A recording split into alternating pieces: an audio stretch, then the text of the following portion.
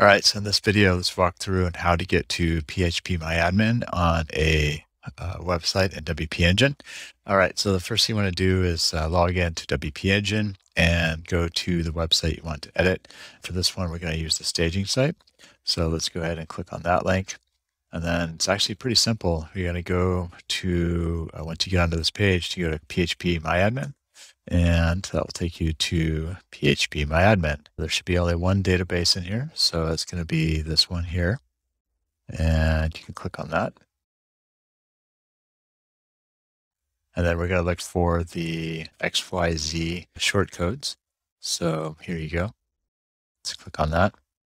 And then what you want to do is you're either going to create it on the uh, WordPress website or you can actually create it here too. For this, all we would do is look for the short code of the title of it. And then what you want to do is you want to edit it. This is if you're going to edit something else. So you just click here and edit. And then you would replace your script there with the updated script. And then you would make sure this is save and then you would press go and that will uh, overwrite the uh, PHP code that's in that XYZ script.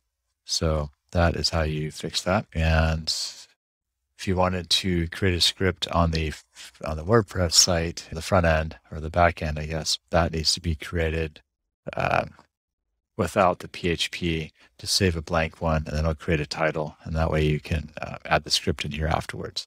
So that's how you do that. And let me know if you have any questions.